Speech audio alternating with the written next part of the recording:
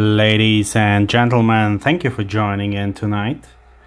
This is your host Nino inviting you to an episode inspired by a comment undertaken by user Genilson da Silva. I hope I'm producing your name correctly, kind sir, who mentioned that I should not be trying to get my book 8088 version 2 into VGA mode for the chip allows it, but the monitor does not.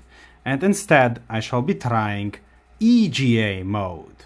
So today's star is this book 8088 version 2, which as opposed to version 1, apart from having like darker stickers, is also endowed with serial and parallel ports. So that's the serial port into which I have stuck a Genius mouse version 6, a GM6 mouse.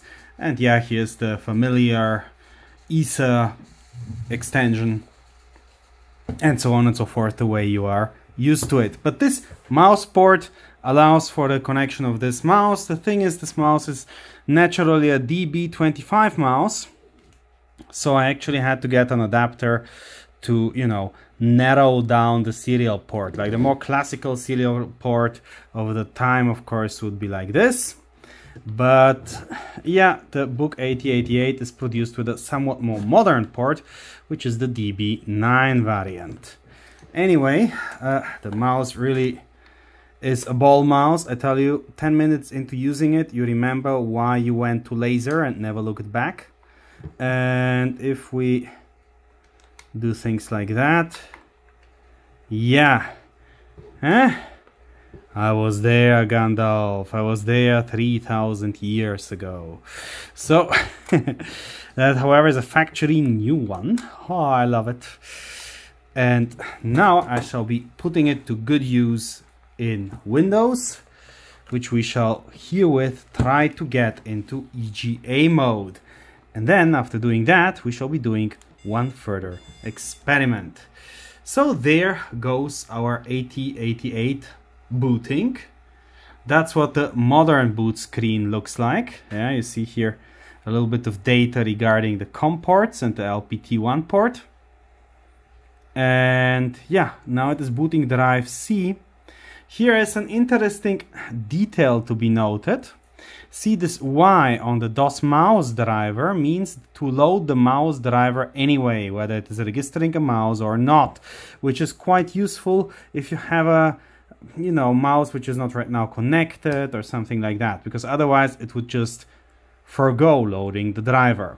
And now that we have progressed into booting into DOS, I have typed the command win to get into Windows. And here we R. So this is going to be drawn out a little bit. I had to reinstall Windows after my last adventure. And yeah, yeah, yeah, this version of pointer options and so on and so forth. Still, I believe my my mouse was working. Why is it not working now? Okay. I look again to be mouseless. God knows why. Okay. Going to try to fix that first. Alright, now it is working. I restarted the whole thing simply.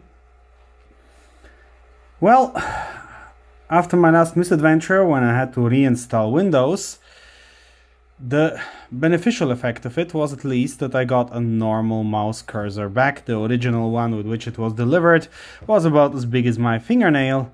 And I don't know, while it was artistic, it was also somewhat ridiculous. Today's exercise, though, is leading us not towards the accessoires, but towards the hmm, main. Main or Windows applications, one out of and yes, main and Windows setup. For there indeed we shall be selecting the EGA video mode instead of the default CGA video mode. For this, please allow me to make the screen a little larger.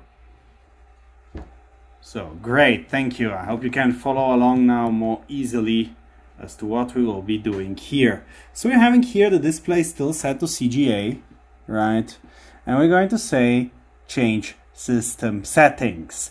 As I learned from my previous adventure, in order to do so, best you have the Windows installation floppies copied onto your hard drive. I have copied them into seven separate folders from the 720k set, like the three and a half ver uh, inch version.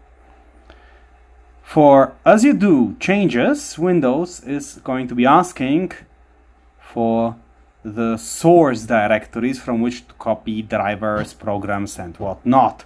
So here it is saying CGA, and in my previous video I made the mistake of picking VGA and just losing display altogether. Now we're having here EGA, EGA black and white 286 only, EGA monochrome 286 only. Well, I have none of these. I can take the default EGA and just to check out what other things are available, well, weirdo displays and then of course VGA. EGA is actually a rather strange graphics mode because you can say the original CGA was quite widely known. And the successor VGA also existed for was a like main standard for one and a half decades maybe. And EGA existed just for a brief period between CGA and VGA and it was therefore sandwiched a little bit. So isn't all that well known and useful as the other two, but might just give us in particular a bit more vertical pixels. So I'm going to say OK. By the way, note that here the Windows installation put it not to none, as it was when the machine came to sold to me, but to Microsoft or IBM PS2. I mean, I find that actually quite quite weird because I certainly don't have a PS2 mouse. It's a COM1 mouse, but it's nothing of mouse systems or the like. Okay, so let's say EGA, okay. And then it will now start to ask me to give it the directories from which to copy the files. I shall skip over the wait, so for you things will be a bit faster than they are in the reality. In other words, if you are doing this don't be surprised if it takes a while. Okay, just asked me for disk number 2. I gave it the directory and now it is installing the fonts for VGA resolution.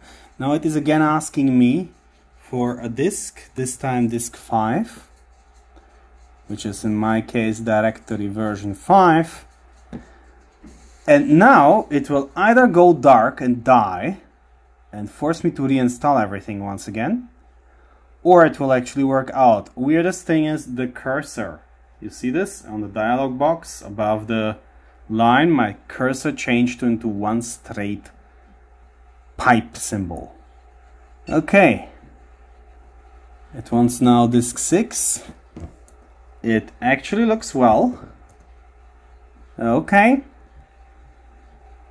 Go ahead, my boy.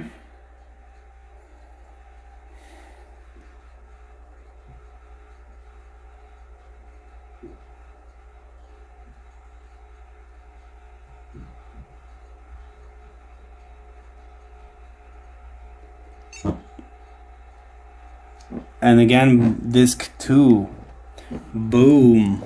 I believe that should be the final setup step necessary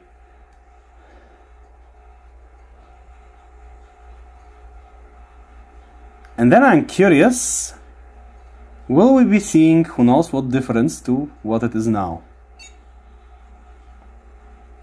Oh, okay, okay, again disk 5. Imagine what a disc jockey you had to be in the 1980s or restart Windows. Yes, please. Last time it went dark like this and never came up again and I had to reinstall it. And this time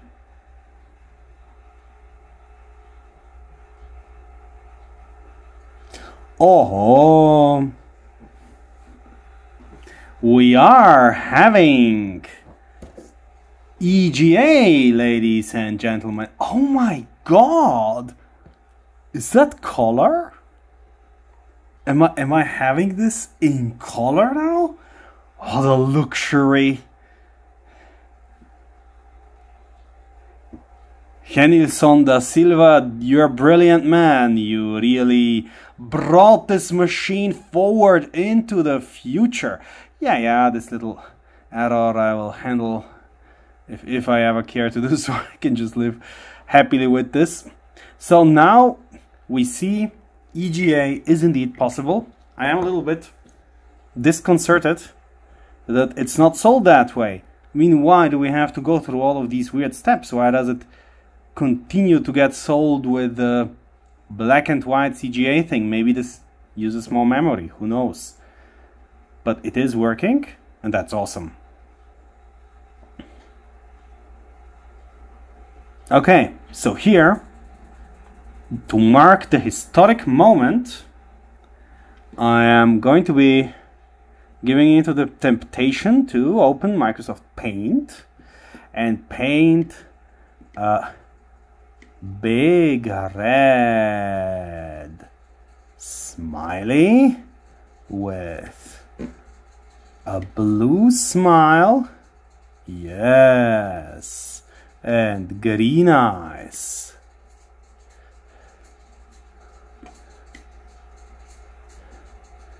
So this is the face of Windows 3.0 in color, ladies and gentlemen. This is how people must have felt when they saw color television for the first time.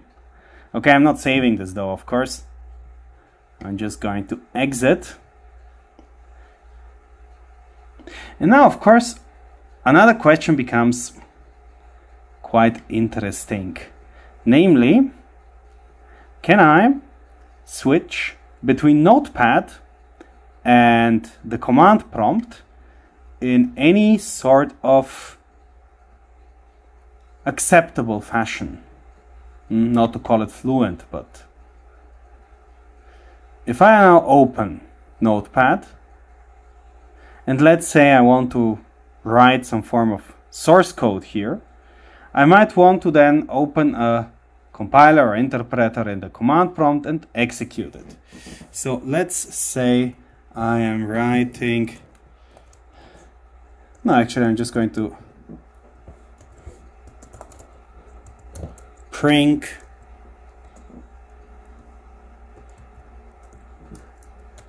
hello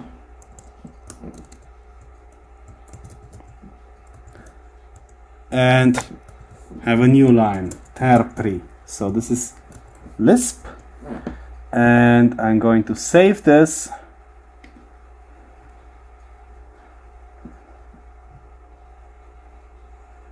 As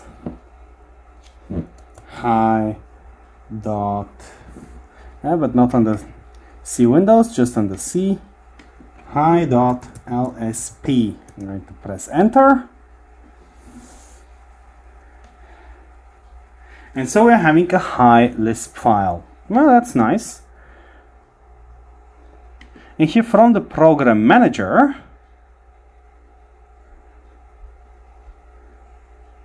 let me minimize the accessoires and go to main. I believe it was on the main, but I'm not sure anymore. Yes, there is the DOS prompt.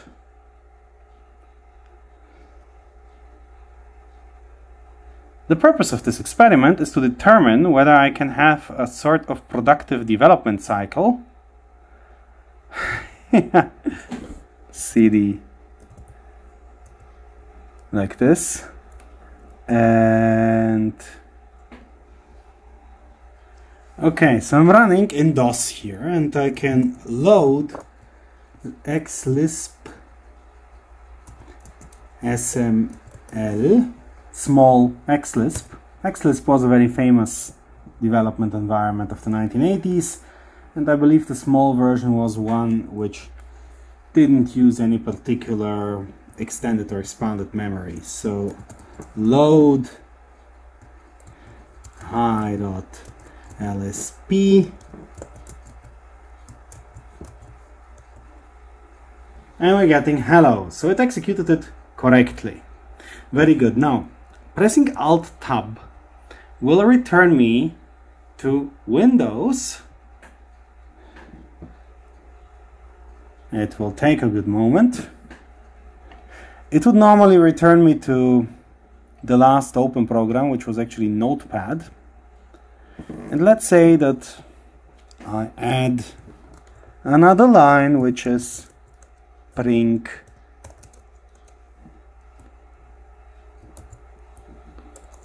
there. So we will be having hello there, one after the other.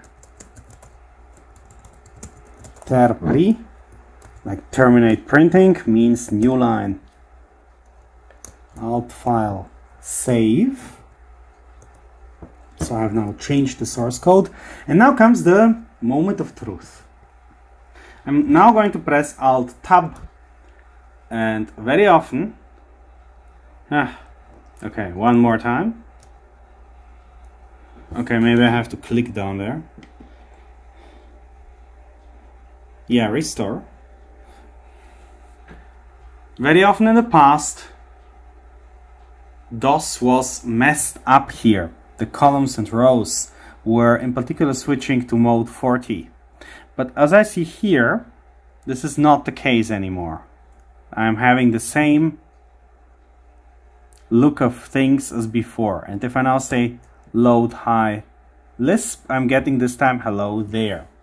In other words, I have now established a working edit and test cycle with my Lisp interpreter, which I'm about to quit Ah, yeah, okay, unbound symbol because it's exit. It's either exit or quit and it really depends on the taste of whoever implements it.